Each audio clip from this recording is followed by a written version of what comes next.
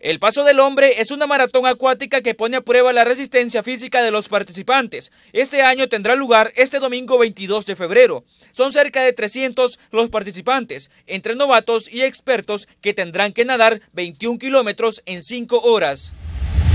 Superando las corrientes marinas, las olas, cambios de marea, entre otros factores, demostrando con ello una vez más la entereza y conocimientos que poseen los guardavidas de Cruz Roja para prestar servicios de prevención y rescate acuático. Esta es la quincuagésima primera edición y es dedicada al vicepresidente de Cruz Roja, ingeniero Mauricio Cárcamo, por sus 27 años de servicio como miembro de esta institución.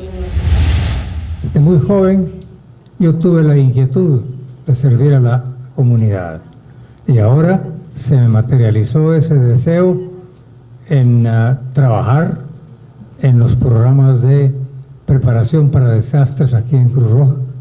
La actividad es importante para el turismo, debido a que son los guardavidas que participan los mismos que atienden a los veraneantes durante las temporadas de vacaciones. Este aporte que brindan estos hombres y mujeres de valor es importante para el sector turístico, que se alista para las vacaciones de Semana Santa, porque serán ellos los encargados de brindar seguridad en estas primeras vacaciones del año. Para demostrar el trabajo que se hace con otras instituciones, también se realizará un simulacro con la Fuerza Naval, Fuerza Aérea y Policía de Turismo. Con imágenes de Juan Castellanos, Raúl Hernández, Noticiero Hechos.